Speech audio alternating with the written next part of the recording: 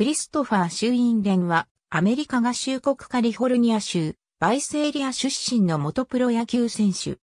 2004年の MLB ドラフトで、デトロイトタイガースから43巡目指名を受けるも、フレズノパシフィック大学に進学する。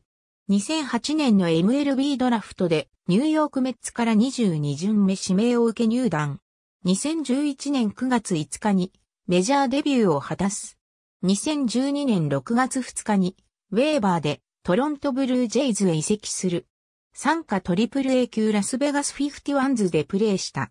2012年6月6日にウェーバーでクリーブランドインディアンスへ移籍する。インターナショナルリーグのコロンバスクリッパーズへ移動した。6月27日にビニー・ロッティーノの加入に伴い、ディーフとなった。2012年6月29日に、ウェーバーでニューヨークヤンキースへ移籍した。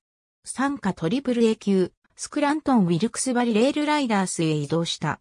7月4日にダーネル・マクドナルドの加入でディーフとなった。2013年7月5日にメッツへ復帰した。7月10日に40人枠から外された。2014年5月17日にテキサスレンジャースとマイナー契約を結んだ。その後、退団。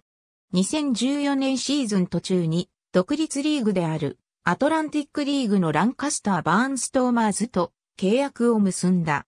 同年のアトランティックリーグ最優秀投手賞を受賞したことが発表された。オフに現役引退した。ありがとうございます。